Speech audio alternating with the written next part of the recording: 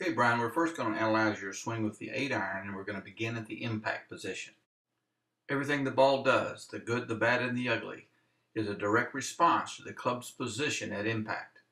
And the club's position at impact is a direct response to your position at impact. And everything you do prior to impact has the sole purpose of arriving at a great and fundamentally sound impact position. We're going to compare your swing to Grant Waite, uh, PGA Tour player, and Tiger Woods said that he believed Grant Waite had one of the best swings in golf. First, let's look at the position of the left arm and the shaft of the club. Now, I captured your swing just past impact. I've got Grant right at impact, and and the only real difference is uh, your hands are a little bit further back, closer to your back leg than your front leg. Grant has a little bit more shaft lean. Grant has positioned the low point of his swing in front of the golf ball so he can hit down and take his divot after the ball. You're starting to kind of flip under the ball with your right hand. I've drawn a line from the left foot, the center of the left foot, straight up, and you can see how Grant has moved his weight on top of his left foot. That red line is passing right through his belt buckle. Um, you are hanging back a little bit more than Grant. Um, Grant's position allows him to keep that low point in front of the golf ball at impact. Your position would uh, create tendencies for that low point to be either at the ball and, or even sometimes behind the ball.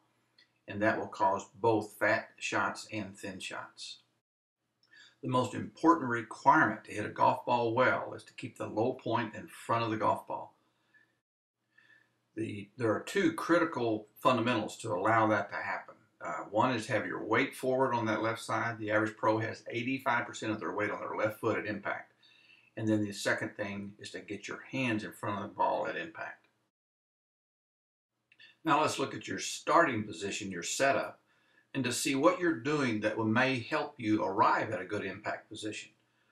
Graham has a uh, nice extension in his left arm as you do. Uh, he has his hands in front of the ball a little bit. Uh, in fact, you have your hands a little bit more in front of the ball, so that's very good. So you, you have set up uh, with your arm and your club to prepare for a good impact position. As you look at your weight distribution and your setup, uh, you can see how Grant has a little bit more weight on his left side than his right side. Uh, his head is closer to that, that red line on the, off his left leg you're set back a little bit more on your right leg. So Grant is is setting more weight on his left side, probably 55%. So he's kind of in a little mini impact position at setup, whereas uh, you're going to have to move a lot more weight during your swing to get to that 85% point. One thing you could do at the setup uh, that would help a little bit is you'll notice that Grant has flared his left foot out toward the target a little bit you would just turn that foot a little bit, it will facilitate the weight shift to the left during the downswing. This is the three position of the backswing. This is when the left arm is parallel to the ground and you have a nice extension in your left arm, just like Grant does. The key difference in your backswing and Grant's backswing is that he anchors his weight off on that left leg and keeps it there as he rotates back. You, will see how his head is still close to that red line, his left knee, his hip. He is staying on his left leg as he rotates back. Whereas you have shifted to the right, you're more on top of your back foot than you are your left foot. Your move to the right has shifted your low point to the right. So your low point of your swing now is behind the golf ball, which adds a complexity to your swing. And now uh, you're going to have to create more difficult timing to get your weight back in front of the golf ball at impact. Grant starts with the low point in front of the golf ball, and during his swing, he keeps the low point in front of the golf ball. To further illustrate how much you have moved to the right, uh, this is on the right is you at the setup, and you can see where your head position is in terms of between the two red lines, and how much you have swayed to the right with your head and upper body uh, in your backswing.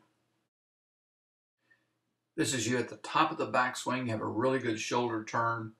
Um, but the, the, real issue, uh, again, is just the weight shift is too far to the on the right side. This is the five position when the left arm is on is parallel to the ground on the downswing. Um, you have maintained a good angle in your left arm and shaft, so you've held the you haven't cast uh, the club too much here. Uh, Grant is just a little bit further left, uh, driving to the left side, almost falling towards the target on the downswing. You have moved more to the left than you were at the top of the swing, but you still have a lot of movement to go to catch up to where Grant is. This is the sixth position. This is when the shaft is parallel to the ground on the downswing. Uh, Grant has his hands in front of his back foot. Uh, he has held that angle a little bit longer. Um, you're starting to cast a little bit, but not much. Uh, again, his his weight at the sixth position, Grant has about almost his 85% point now, even before impact. He's really got uh, the center of his body on top of his left leg at this point. The other thing to observe in the sixth position is you can see how Grant has his right elbow trapped against his right side. It's, it's uh, literally closed. His armpit is closed down. And you're starting to see some separation uh, of your right arm to your right hip. That is an indication of, casting, uh, and, and you want to try to maintain a connection there.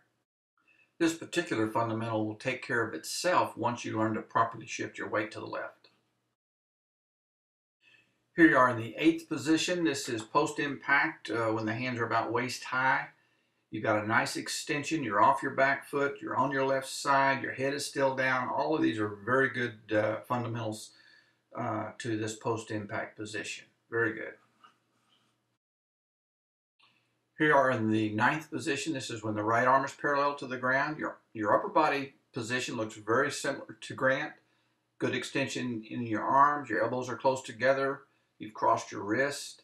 Your head is still down. Very good. The, some of the differences of your lower body is that Grant is starting to extend that left leg and stand taller and uh, you are still kind of collapsing down through your knees. You have a lot more knee flex there. And this costs you some power. A lot of power comes from the extension of the left leg through impact. Here you are at the finish. Um, it's a really good finish. It's almost that pro classic finish, standing uh, facing the target, uh, off your back foot. Uh, again, the, the key difference between you and Grant, and I would say to most pros, is that Grant is standing taller at the impact. He's really extended that left leg completely now. And uh, you still are uh, supporting your weight through through the knee joint as opposed to locking that knee and, and support it more in the hip joint. So in conclusion, uh, I see the, the number one fundamental you need to work on is the weight shift position uh, during the swing we want to start with a little bit more weight on your left side, and we want to learn how to take a backswing and coil um, without shifting to the right. The best place to work on that move is the, is the move from one to three. If you could get where you have a set up position and then you learn how to go to this three position with the left arm is parallel to the ground, the initial takeaway.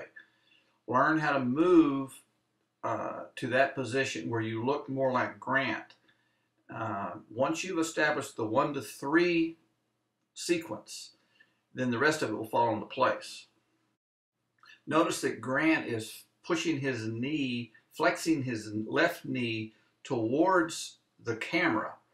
His left shoulder is going down to on top of his foot. He's almost planting that left leg like a field goal kicker, getting ready to kick. So you want to plant and squeeze that leg down into the ground.